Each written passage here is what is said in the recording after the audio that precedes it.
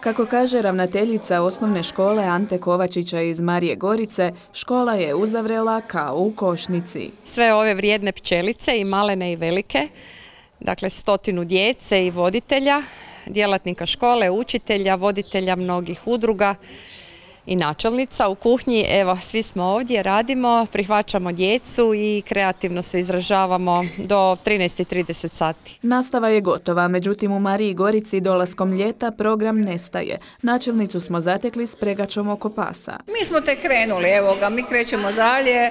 Ljeto u Mariji Gorici po sedmi puta, okupili smo 123 troje djece, što z našeg područja, što iz Brdovca, Pušće, Dubravica, Zaprešića.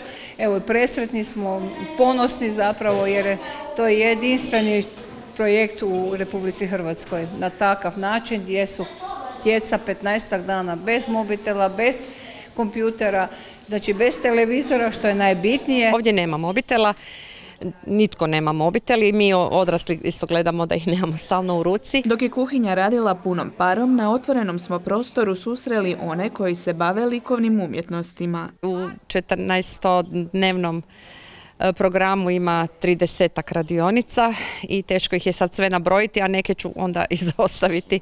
Dakle, neke su samo jednom, neke su u ciklusu, ponavljaju se više puta, kao recimo keramičarska, ali ima, evo, kuhnja je svaki dan gdje se priprema više poslastica i domaći rezanci i mlinci i krpice i e, različiti domaći kolači, tradicionalni kolači, kolači na mašinu, recimo ono što je već pomalo izumrlo.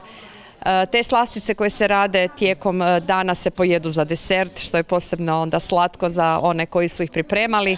Evo jučer smo ispekli 120 palačinki za sve koji su bili ovdje. Nijedno dijete, hvala Bogu, niti se opeklo, na primjer, imali su tavice, ali toliko su spretno to radili da bi se mogli posramiti neki, neki odrasli ljudi. Baš su, evo, baš su djeca u redu. Oslikavamo mural na školskom igralištu, dakle to je projekt koji traje već e, više godina ovdje u ljetu u Mariji Gorici.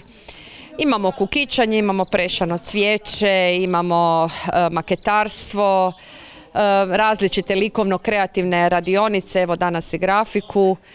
I tako, mislim, govorim vam 30 e, različitih radionica, a ono što je važno da nam se onda uključe i nogometaši iz nogometnog kluba Mladost, pa nam dođu vatrogasci iz vatrogasne zajednice Marije Gorice, pa onda idemo s lovcima u subotu u lov, idemo na OPG Hrust, u četvrtak pješke na farmu, tamo ćemo pomoći oko krava i vidjeti kako se prerađuje mlijeko i mliječni proizvodi.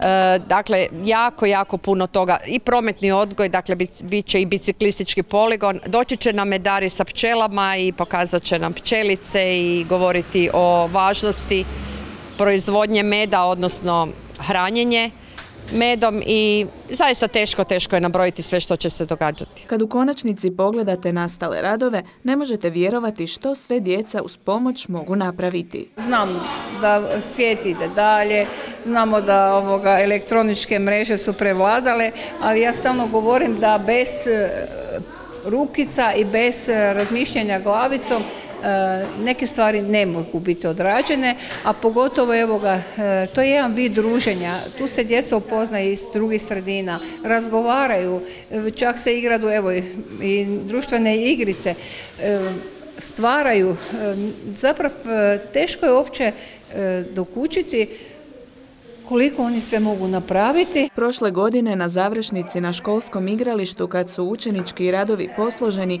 jedva je bilo dosta stolova da svi stanu. Da je ovaj program zaista privlačan, e, govori podatak da nam dolaze djeca iz susjednih škola i općina već po peti puta.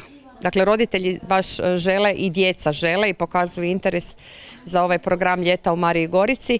Kažem sedmu godinu, počelo je 2016. godine, počela ga je općina Marija Gorica, odnosno načelnica i eto on je zaista poprimio široke razmjere. Prijavljeno je 120 djece, bilo bi još i prijavljenih, ali to su nekako naši kapaciteti u našoj školi koje možemo evo prihvatiti. I radosni smo, zadovoljni smo, učitelji su ovdje, svako odradi dvije radionice i onda idemo 12. srpnja na godišnji odmor. Za sad im je to sve besplatno jer nas pokriva i Zagrebačka županija i općina Marija Gorica. Tri godine smo to sami financirali iz općine Marija Gorica, nakon toga evo u četiri godine nas doista pomaže Zagrebačka županija. Kao lani i ove će godine biti održano veliko finale ljeta u Mariji Gorici. Za početak će samo Gorički trg biti pun aktivnosti. 13. srpnja u 19 sati, dakle bit će prodajna izložba svega što se ovdje e, proizvelo, odnosno stvaralo 14 dana. E, Biće nakon toga i kazališna predstava za djecu, svi ćemo se e, počastiti slasticama koje smo ovdje ispekli ovih dana, ali to nije onda gotovo, znači to nije sve, ima još i 14. srpnja kada idemo tradicionalno na izlet u Krašograd gdje nas onda također prihvaćaju tamo u tom jako lijepom kompleksu gdje djeca imaju različite aktivnosti, imaju ručak, ali imaju kupanje u bazenu.